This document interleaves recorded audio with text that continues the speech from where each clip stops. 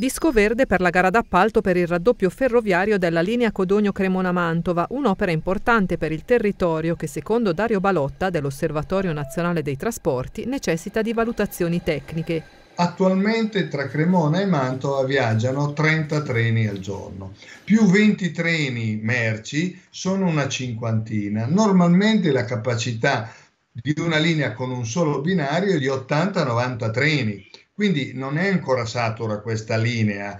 Alla, gli esperti si chiedono, vabbè, ma qua siamo sicuri che con il raddoppio noi potremo utilizzarlo tutto, cioè 220 treni, perché con il raddoppio si aumenta nettamente la capacità del numero di treni. Ci sarà una domanda di traffico di 220 treni, non solo, ma fare un'autostrada per togliere una parte dei 16.000 veicoli della strada provinciale. Cosa facciamo? Un'autostrada per 5.000 veicoli al giorno? Cremona per molti è sempre più isolata, ma le soluzioni necessitano di approfondimenti.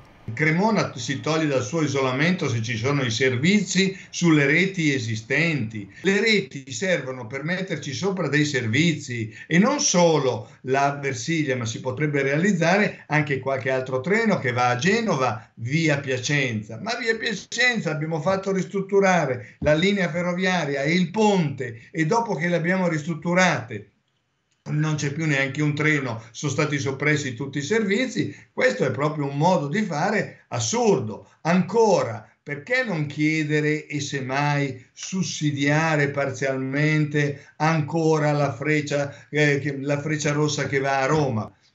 Dobbiamo parlare di questo. I bus in provincia di Cremona sono praticamente spariti anche se mettiamo le strade, le ferrovie, poi sopra non ci sono treni e bus, eh, noi non concludiamo niente, spendiamo di soldi, ci riempiamo la bocca, ma l'infrastruttura da sola non serve per toglierci dall'isolamento.